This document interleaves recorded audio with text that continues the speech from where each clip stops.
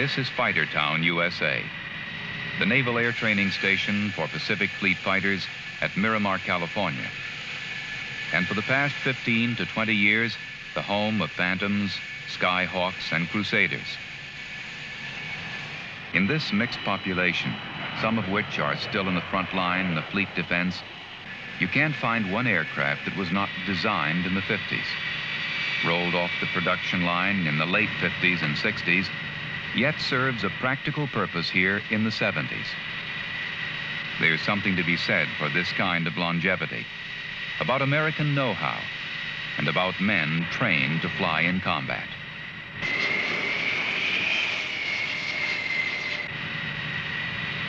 Exposed to the realities of air warfare in Vietnam, many of these men are professional sticks with experience that comes only in a shooting war. Now they're back where it all began, to get wrung out in a fighter that's unlike anything they've ever flown before. The F-14 Tomcat. And to test what they learn in simulated air combat maneuvers against other high-performance fighters.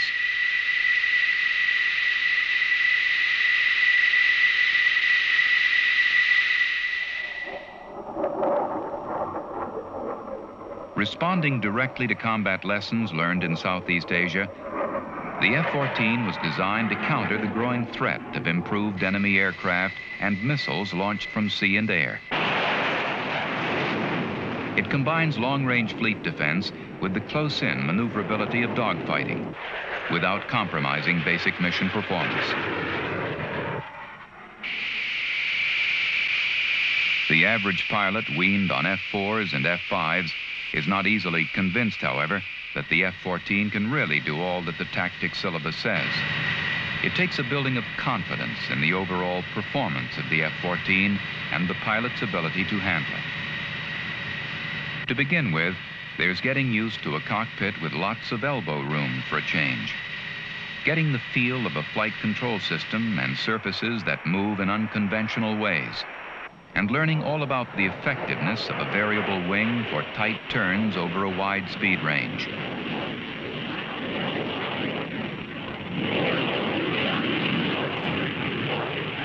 Added to this is the AWG-9 weapon control system with long-range radar for early target detection, acquisition, and tracking beyond 100 miles, allowing the F-14 pilot to get the jump on the other guy or to avoid engagement.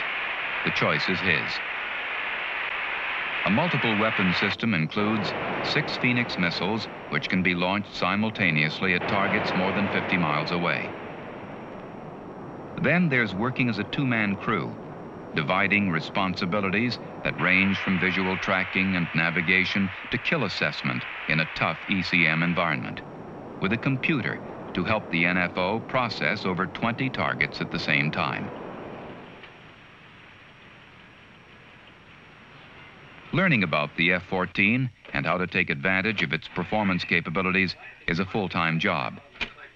Every working day, a routine of briefings and flying, flying and debriefings. Beginnings before dawn and endings just short of midnight blur one day into the next. Soon enough, it's time to fight. Pilots new to the F-14 against tough gunfighters flying F-4s, A-4s, and T-38s. With the exception of the F-4, these are short-legged defensive fighters. Yet all have a key place in the training environment because of their maneuvering capabilities. Many, like the Mongoose and F-5, have been souped up to closely simulate the performance of defensive enemy-type fighters. That the F-14 can outmaneuver and destroy any of these fighters is certain enough. But the pilot has to find out for himself, and dogfighting is one way to do it. Although only part of the F-14's overall capability, it's a good measure of the aircraft's performance under one of the most demanding fighting conditions a pilot is likely to face. The F-14 versus the T-38 is a lesson in defensive maneuvering. The T-38 being one of the tightest turning aircraft in the inventory.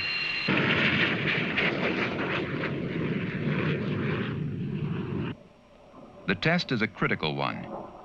The F-14 in the most vulnerable position of all. His adversary directly behind him in shooting position. Once the T-38 starts to make the attack on you, the first thing you have to do is negate it. And the best way to do that is to break into him. You've got G available, so start your break. Okay, now we want to go from this defensive position into a neutral and an offensive position. The way we can do this with the F-14 is we can pick its nose up.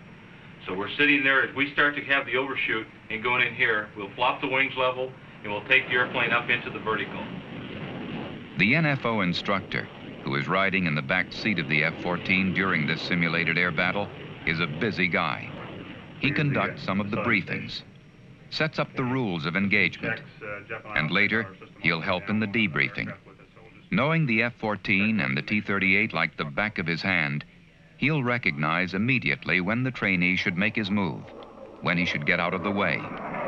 And if he hesitates for even a second, he'll know that too. At that point, I'll be calling for you to level your wings get them level prior to pulling the aircraft up in the vertical. You want to make sure you get in pure vertical, if necessary, look inside. At that point, I will be having my eyes on the T-38 during the whole maneuver, so you don't need to worry too much about keeping sight of them. Is there any chance the T-38 can uh, out-zoom me up there no, and get me back? In no way. As long as you get your burners lit in here and get your nose into the vertical, the T-38 just can't climb up with you. The more he tries to come up with you, the more he's going to load that wing up. And as you can see, that wing is much less than yours, so he's going to lose a lot more energy. Therefore, he isn't going to be able to sustain up into the zone. Okay, is, is there any way he can really counter that, or is he just going to end up in the same place every time? No. The less that he counters, or the more dynamic that he counters, not coming up with you, the faster you're going to go after his wing line, the faster you're going to be able to place your nose behind him, and the faster you're going to be able to employ your weapon system. You have gone from the complete defensive to an offensive position, and that's what we're trying to look for.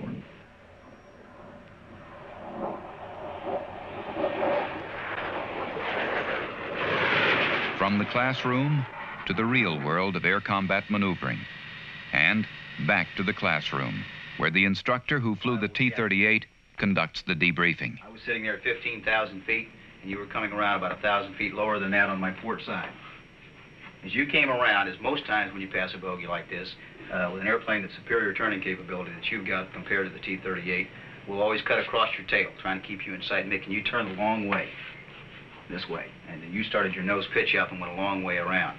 Now, what happened there is uh, when you went across my tail, I, I lost sight of you. Denny had sight of you, and uh, I spent qu quite a bit of time, and I think I arced probably up there when I was trying Yeah, to that's just about what it looked like, because as you came by down low, with your nose back down, reaccelerating, you had a typically good early turn opportunity that the F-14 has. If you had the opportunity to pick me up immediately out of that turn, you could going to gain a lot of angles. I was spending maybe too much time looking for you, and not enough time driving the airplane. That's a possibility. You can definitely see the responsibility changes here as you pass. Communicate in the cockpit and let Denny pick up the padlock for you as you come back over the top until you can get your head spun around and get back inside of that bogey as he comes down low. I, re I really found out because F-14's turn capability, we stayed pretty close, and it's not that much problem. I thought it'd be a big problem, but it wasn't. Encouraged by their success against the nimble T-38, F-14 flight crews are no less attentive in preparing for their next battle against the A-4, another good turning low-wing loaded fighter. In this engagement, the tactics instructor will also double as pilot for the A-4. Again, the F-14 is on the defensive, the A-4 rolling from a high perch into a good gun position. Once I start to make my attack, you're going to have to counter that. And the way you do that is you start your nose up. Get yourself going right up into the vertical, making sure you get your afterburners lit, and start going up. Lyle's going to coach you into where I am. Once you're up in here, start to do your displacement roll towards my 6 o'clock.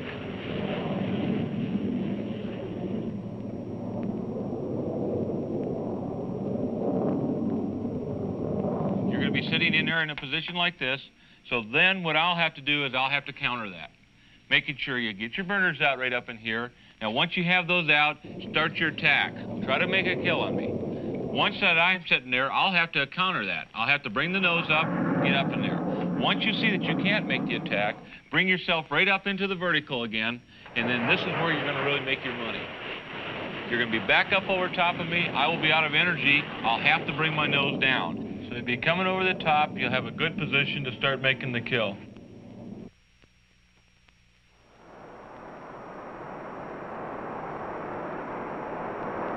After the engagement, both crews return to the base for debriefing. At this stage, debriefing is often a matter of reminding F-14 pilots of the extended capabilities of their aircraft to instill more confidence that you can push it beyond the limits of other fighters and that it will respond. First thing I saw is as we started the maneuver, I came up over the top of you like this. I had really was impressed with the way that you brought your nose up. It really surprised me. I didn't I didn't think you could get that kind of pitch right out of the airplane. Oh boy, It you really bet. surprised me right you there. bet. You can get yourself right up over the top of that guy. Once you're up in here, now you're in a position where I'm starting downhill. You can start to attack.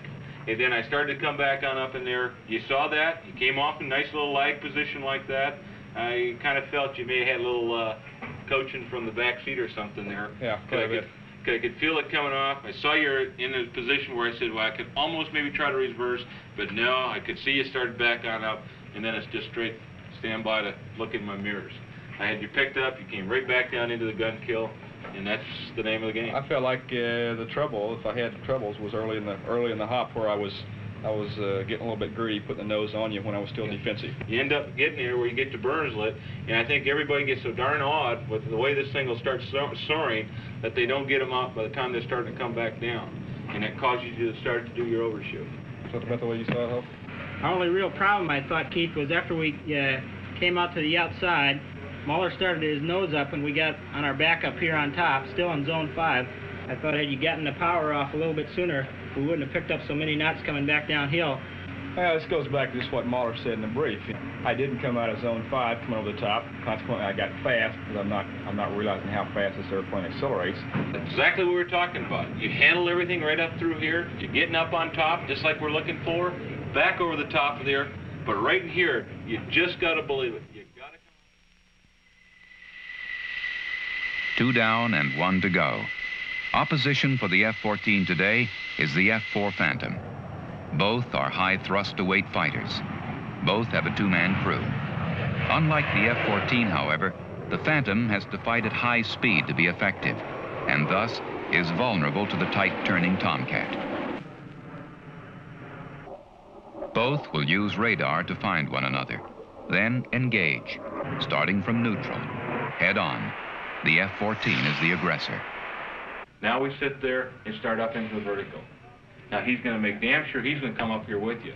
If he just sits there, rolls his wings down, and starts running on you or anything like that, straight lateral little turn, go on down and chase him. You'll have the energy to go after him. You'll be ready to go. If he picks his nose up, start smiling. You've got a good day ahead of you. How much of its maneuvering potential the pilot extracts from his F-14 will determine his success in this engagement. The trick is to keep his head out of the cockpit, to reduce his reaction time, to fly the airplane instead of watching over it, to spend less time with the machine, more time with the fight outside. You can be sure the instructor pilot in the F-4 knows what his adversary can do and how he's likely to do it. His job is to stay alive. Having heard it in the classroom, of course, is a lot different from being there. And after you've been there, there's a lot to talk about.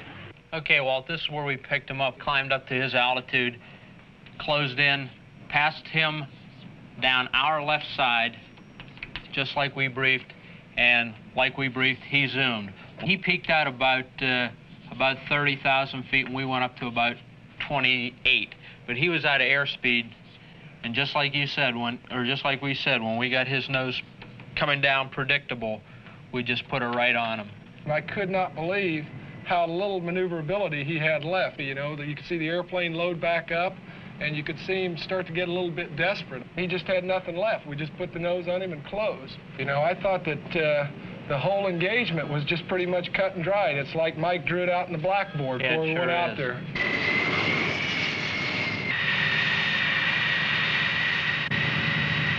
Pilots and Navy flight officers continue to cycle through Fighter Town to get their hands on the F-14 and to put it to the test against the more familiar Mongoose, F-5E, and F-4. And they're impressed. we can take more of the classical maneuvers and use them to our advantage. That, to me, is the biggest thing. In the F4, there are only one or two ways to win a fight. And if you don't do those one or two ways right and perfect, then you're going to lose. You know, it's not a magic airplane that you give to any plumber and say, go out there and pull the thing around and it'll, it'll do what it needs to do. It just does things better. You make up for a lot of mistakes and still survive or still get the shot. I've been in several fights one on two where the pilot is called sparrow shots and I've never looked in the cockpit, never looked in the cockpit. I just hit VSL and he's got a lock and he's called a shot because he's got all the information he needs up on a heads-up display. Visibility is unbelievably important, and I think in this airplane, you can see people, you can stay alive. The F-14 just makes it easier, makes it possible to have more good fighter pilots just because the airplane performs so well. It's really amazing that we can just go out there and just take that airplane and say, we're going to do this to you, and go out and do it to them.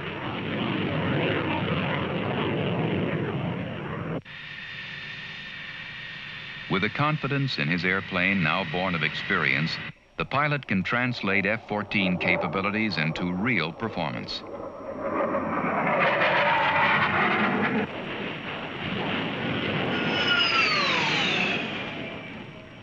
High thrust to weight and effective wing loading means the ability to stand the F-14 on its tail and, in one move, get into a 6 o'clock position.